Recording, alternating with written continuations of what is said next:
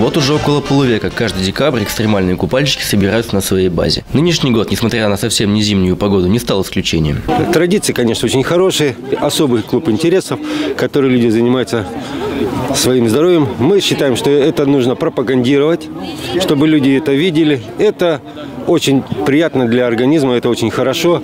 Э, Я считаю, что чем больше будет людей заниматься, скажем, таким видом, экстремальным видом спорта, я думаю, все-таки это будет правильно. Владимиру Еремину 69 лет, и треть жизни он закаляется, плавая в ледяной воде. Как бы не был занят морж, для любимого дела время он найдет всегда. Все время занимаюсь купанием. Для меня это много времени составляет. Час-два. Те, которые я здесь, кто-то думает, теряю, я их получаю. Получаю в виде здоровья, в виде положительных вот этих вот эмоций среди вот этого окружения людей.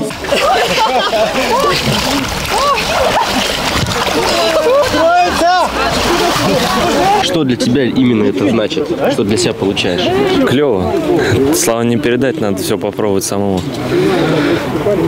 Тогда поймете. Эйфория прет. На здоровый образ жизни, преподаю биологию, русскую литературу, поэтому одно дело говорить, просто говорить, другое дело, когда дети, студенты это видят, что ты делаешь это сама.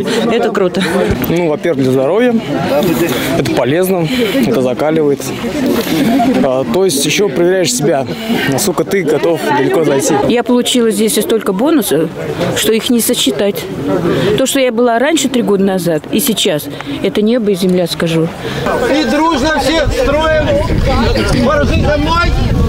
Ну, сейчас о закаливании организма, о зимнем плавании м, говорят очень много и о разные точки зрения. Но у нас в городе Орске, хочу сказать, в области единственный такой клуб закаливания, которому уже более 40 лет. Он пропагандирует именно здоровый образ жизни.